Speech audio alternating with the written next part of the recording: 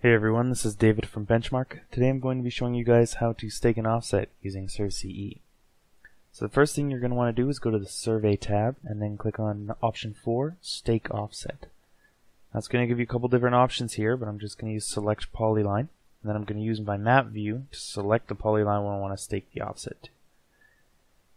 I'm just going to check and then override vertical alignment. I'll say yes. And then just press check again. And that's going to bring you to this option screen here where you can change your stationing uh, to start from. You can change your interval. You can change your offset.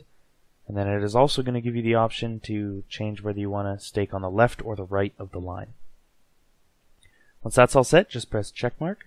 It's going to bring you back to the map screen, but now you're going to have the stakeout information there such as uh, distance to your point and your cut and your fill. And then you can just press N for next to increment to the next spot you want to stake to. And you can move along the line like that. And, uh, yeah, that's how you stake an offset. That's all for today. If you've got any questions, feel free to give us a call at 1 888 286 3204 or visit our website at www.bench-mark.ca. Thanks for watching. Have a great day.